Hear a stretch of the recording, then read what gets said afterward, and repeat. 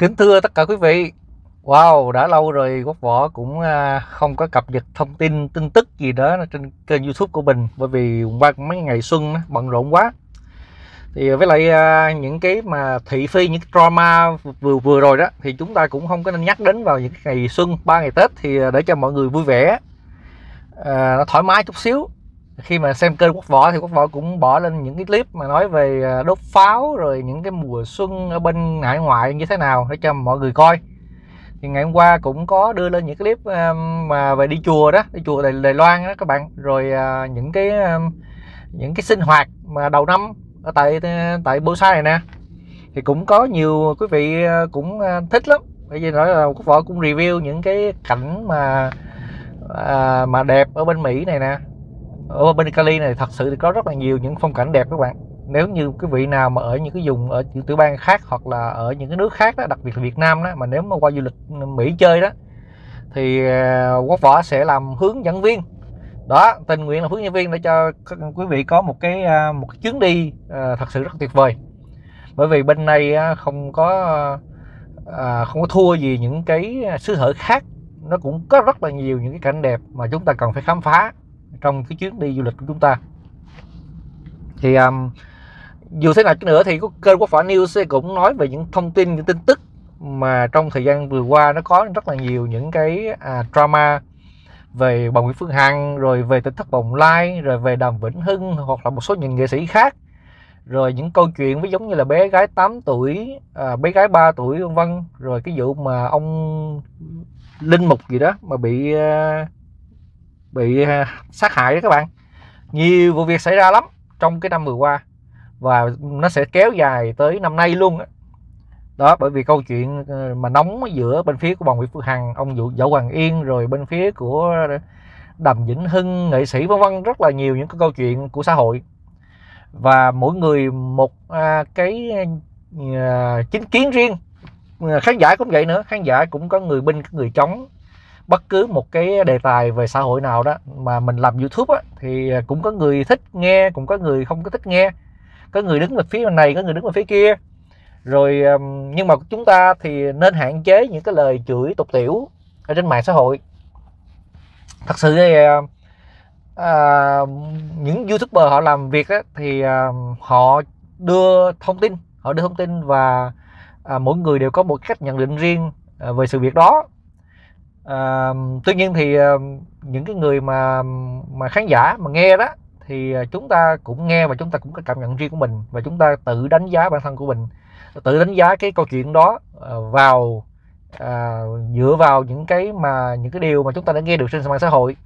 Dĩ nhiên mà chúng ta phải nghe được từ hai chiều ví dụ như là chúng ta nghe từ phía bên binh hoặc là chúng ta nghe từ phía bên chống vân vân thì chúng ta để rút ra những cái à, những cái cái cái cái cảm xúc của mình rút những cái, cái bài học những cái à, cái điều mà chúng ta nhận thấy đó trên mạng xã hội đó rồi chúng ta sẽ có cái cảm nghĩ riêng có một cái nhận xét riêng uh, của mỗi người.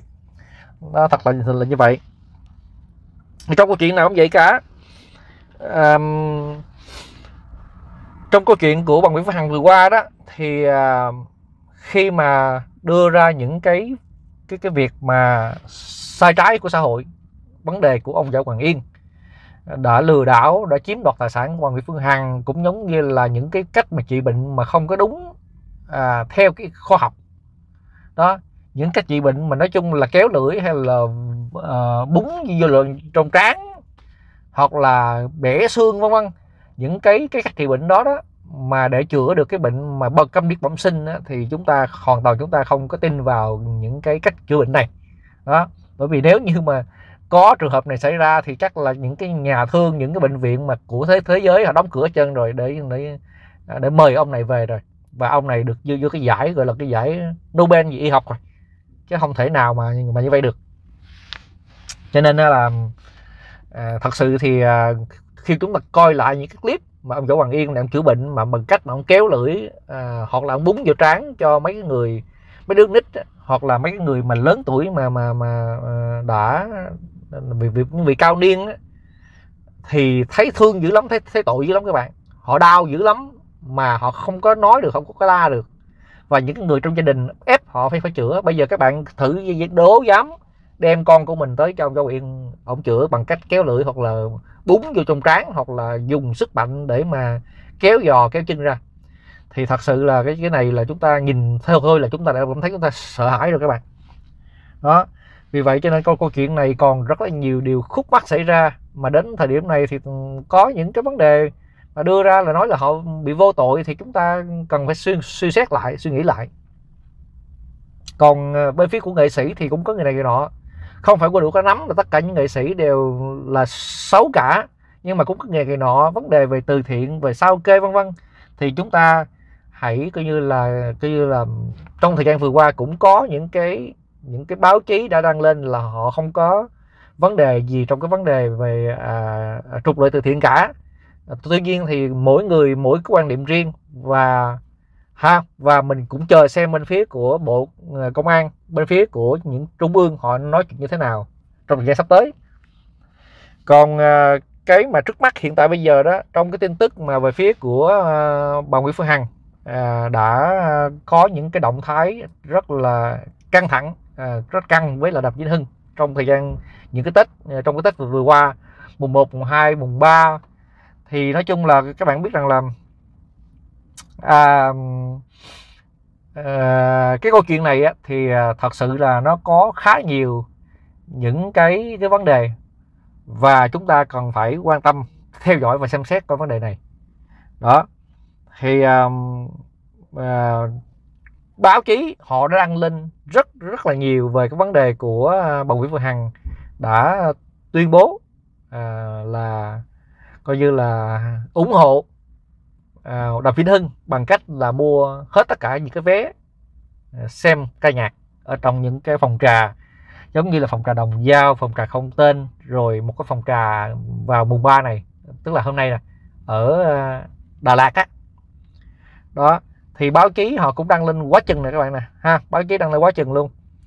À, thì à, quốc võ hôm nay mình tình cờ mà đọc được một cái tờ báo ở trên tờ báo là iva.vn á thì có một cái bài báo họ viết rằng là nữ CEO Phương Hằng đặt hẹn với Đàm Vĩnh Hưng, tuyên bố sốc muốn lấy tài sản của Mr. Đàm.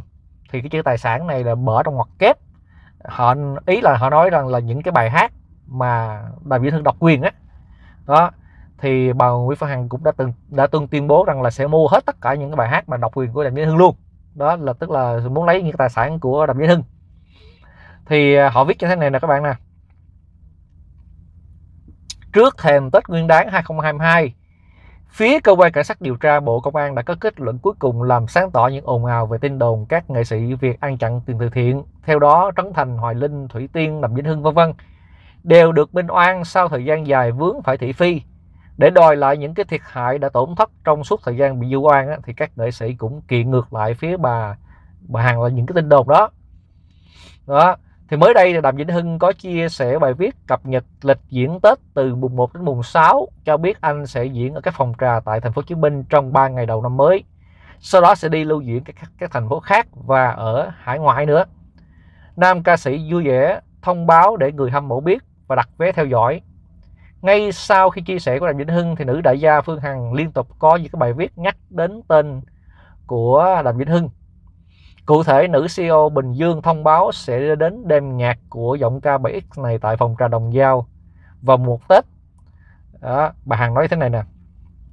Quý vị thân mến, mùng 1 Tết tôi đi xem anh Đàm hát ở phòng trà Đồng Giao nhé quý vị. Đi ủng hộ cùng tôi không nè. ủng hộ đến cùng luôn nhé. Đó. Bà còn nhấn mạnh các nghệ sĩ vướng ồn ào từ thiện biểu diễn ở đâu thì bà và khán giả sẽ ủng hộ hết mình. Khẳng định là mua cho cháy vé luôn. Đó là cách chơi mới của tôi. Sau tuyên bố này thì nữ đại gia chia sẻ đang liên hệ với một số tụ điểm ca nhạc làm diễn Hưng biểu diễn ở dịp Tết này để đặt vé và bà cũng đã đặt xong chỗ cho show diễn mùng 2 Tết của Nam Diễn Viên tại phòng trà khác cũng rất nổi tiếng ở thành phố Hồ Chí Minh. Bà Hằng nói rằng là nếu em bao được sân khấu em bao quý vị xem miễn phí nha, chơi đẹp đầu năm luôn. Chưa dừng lại ở đó, Phương Hằng còn có quyết định táo bạo hơn khi muốn mua độc quyền lạc loạt ca khúc loạt ca khúc của Đàm Vĩnh Hưng. Những ca khúc này đều là tài sản lớn của Mr. Đàm trong sự nghiệp nhiều năm ca hát của anh. Cụ thể, nữ đại gia này cho biết rằng là quý vị ơi, năm mới mình mua hết bản quyền của anh Đàm hát được không quý vị? thích gì mua đó năm nay không làm từ thiện nữa nên xài tiền được không quý vị mua hát mình cho vui nha quý vị đó đây là cái cái dòng trạng thái mà của bà Nguyễn Phần chia sẻ trên cái Facebook cá nhân của mình ha các bài đăng của bà Nguyễn Phương Hằng nhanh chóng thu hút rất là nhiều sự chú ý của dân mạng. Phía cộng đồng mạng để lại nhiều bình luận trái chiều. Ủa vậy là sao không là CEO mà chuyển sang làm cò vé hả? Đó rất là nhiều những cái uh, uh, lời bình luận mà ờ, không được đẹp uh, đối với bà Nguyễn Phương Hằng ở trong uh, cái uh, những cái bài viết. Dĩ nhiên rằng là khi mà mình post lên thì cũng có cái người uh, khen người chơi đó thì nói chung là cái người mà mà mà khen tặng mà quý hàng cũng rất rất rất là nhiều cũng khá nhiều và cũng có nhiều nhiều cái, cái người à, à, bên phía của fan hâm mộ của quý bà bà bà của ông Đàm Vĩnh Hưng á cũng vô để có những cái lời lời nói không hay. Đó thì à, trước đó thì sau khi được nữ doanh nhân đất Bình Dương gọi đích danh trên livestream thì Đàm Vĩnh Hưng cho biết đang tiến hành làm việc với cơ quan chức năng suốt 4 tháng nay về những cái bình luận livestream thóa mạ à, của Đàm Vĩnh Hưng trong thời gian vừa qua. Đó. Cụ thể thì Đàm Vĩnh Hưng đã có 3 buổi làm việc với công an Bình Dương và lần gần nhất vào ngày 19 tháng 1 với sự có mặt của Viện Kiểm sát Nhân dân tỉnh Bình Dương. À, nam ca sĩ nhấn mạnh rằng trong thời gian tới phía công an cần thêm những chứng cứ hay trao đổi gì Hưng sẽ tích cực phối hợp và làm việc tới cùng để nhanh chóng kết thúc câu chuyện này. Những người này đang ngày đêm livestream thách thức pháp luật vu khống người khác ắt sẽ chịu hậu quả. À, những cái à, à rất là nhiều những cái bài viết à, họ đang viết ở trên báo. Đó họ viết trên báo. Thì à, theo như thông tin đó thì quốc bảo được biết rằng là trong ngày hôm nay thì bà Nguyễn Hằng đã đi à, lên trên Đà Lạt á, để tham dự một cái đêm biểu diễn đêm biểu diễn của đầm Vĩnh Hưng tại trên Đà Lạt. Và cái giá vé là khoảng 2 triệu đồng một vé mà chưa có tính nước uống trong đó. Và cũng theo thông tin của bà Hằng mà viết trên trang Facebook cá nhân đó là cái cát xê của Đàm Vĩnh Hưng là 500 triệu trong một đêm diễn. Như vậy là chúng tôi là còn chừng 20 22 ngàn đô la. Wow! Cũng giá cũng cao các xe cao cao khủng khiếp không các bạn ha? Đó. Công nhận làm cái gì mà ca sĩ nổi tiếng này, hát show cũng khá là nhiều tiền. Đó các bạn thấy rõ ràng rằng là sẽ có những cái câu chuyện mà cũng hay sắp tới xảy ra như như thế nào chúng ta cùng theo dõi theo dõi để coi cái đêm diễn thứ ba tại à, tại Đà Lạt thì bọn Nguyễn Hằng sẽ có những cái à, cuộc gặp gỡ với lại Đàm Vĩnh Hưng hay là không? Tại vì cũng cũng nghe nói rằng bà sẽ chạy lên trên Đà Lạt à, cùng với à, những cái người fan thăm mộ của mình đó tại vì thời thì trong cái thời gian vừa qua đó là khi mà bà Hằng livestream để đưa ra những cái mặt trái của xã hội đó, thì cũng có khá nhiều người cũng theo dõi và fan hâm mộ của bà Hằng cũng rất là nhiều luôn cho nên các bạn thấy rằng là trong những cái thước phim mà anh em YouTube quay vào trong cái đêm mùng một Tết tại nhà hàng tại cái phòng trà đồng giao đó thì có rất là là đông người có rất là đông người cũng à, đến đó để nói chung là tò mò cũng có nè rồi muốn gặp bọn Nguyễn Phan Hằng cũng có nè rồi sẽ coi coi cái sự đụng độ của bọn Nguyễn Phan Hằng với lại Đàm Vĩ Hưng như thế nào nè ha. Đó nhưng mà cuối cùng thì bà Nguyễn Phan Hằng cũng cũng đến đến ngồi ở trong chiếc xe màu đen. Thì à, khi mà đến người đó đó thì có một cái người bên phía của hình như là cơ quan an, an ninh đó, cũng đã đến nói chuyện. Rồi ờ, bà Phím Hằng cũng ờ, bước ra à, và cũng nói một vài câu rằng là hãy à, giải tán đám đông và hãy tôn trọng cái pháp luật. Đó bởi vì phía đối diện bên tòa nhà bên kia là các bạn biết rằng là cái trụ sở của đại sứ quán. Đại sứ quán của Thái Lan hay là Campuchia đó không biết thì uh, họ yêu cầu là cơ quan an ninh là tới để uh, giải tán cái đám đông đi bởi vì cái đám đông nó nó quá nhiều và họ sợ rằng sẽ có những cái xích mích xảy ra rồi đánh lộn đánh lạo hoặc là những cái điều mà không hay xảy ra đó thì nó sẽ ảnh hưởng đến uh, cái cái ban giao của hai nước. Vì vậy cho nên là bà Phương Hằng bà cũng là không có có vào, vào trong mà mà đi về và khuyên đám đông nên giải tán đi. Và cũng à, cũng may rằng là không có những cái sự việc mà đáng tiếc nó xảy ra. Đó là như vậy. Nhưng mà sắp tới thì như thế nào thì cũng cho chúng ta cũng chưa biết. Ờ, và cái câu chuyện drama này nó sẽ kéo dài nữa các bạn ạ chứ không phải là bao nhiêu đó là không đâu còn rất là nhiều những cái vấn đề nữa. Và cái mà quốc võ đang quan tâm á, là cái câu chuyện của ông võ hoàng yên. Bởi vì bắt đầu bắt đầu quốc võ làm câu chuyện này từ ban đầu đó là quan tâm tới câu chuyện con võ hoàng yên chứ không phải là quan tâm tới những câu chuyện khác. Nhưng mà rồi rồi từ từ từ từ nó lại lại xảy ra những câu chuyện mà nó liên quan nó liên kết với nhau. Để cho đến thời điểm này thì cái câu chuyện của Châu Người Yên được nói chung là tạm tạm lắng xuống. Đó còn cái câu chuyện của nghệ sĩ lại là dâng cao lên. Cho nên là thật sự thì quốc võ cũng đang mong ngóng xem rồi coi coi là bên phía của à, bên phía của trung ương họ sẽ xử lý cái vấn đề của ông Châu Yên như thế nào. Đó. Thì hôm nay là cũng là mùng 3 Tết là coi như là cũng ờ, hết ngày đây là cũng hết Tết rồi. À, chúng ta cũng đi làm lại bình thường. Ở bên Mỹ này thì ờ, những ngày Tết vừa rồi nó lại rơi vào nó rơi vào cái ngày thương vì vậy cho nên là họ đã đi làm. Và người Mỹ thì họ không có quan tâm tới cái vấn đề Tết Việt Nam. Cho nên là những người nào mà làm cái công ty hoặc là làm những cơ quan của chính phủ đó thì họ họ vẫn phải đi làm bình thường các bạn. Họ không được nghỉ. Đó cho nên là coi như là hết bùng là hết tết rồi. Nhưng mùng ba là trở lại bình thường rồi. Vì vậy cho nên là sắp tới thì quốc võ cũng sẽ có những cái vấn đề làm về youtube. À, những cái vấn đề làm về cái kênh thế giới tâm linh. Đó. Rồi à, sẽ tổ chức những cái cuộc thi sáng tác về ca khúc à, ở trong cái kênh của quốc võ music. Cũng giống như là ờ, quốc võ sẽ dạy đàn à, guitar rồi dạy đàn keyboard và uh, sẽ có những cái uh, cái sinh hoạt về văn văn nghệ để cho giúp vui cho tất cả mọi người. Thì cũng mong rằng là quý vị hãy ủng hộ quốc võ ờ, bằng cách là mình ủng hộ kênh chia sẻ kênh rồi mình đăng ký hoặc, là mình nhấn vào những cái nút like để cho cái lượng tương tác nó nhiều.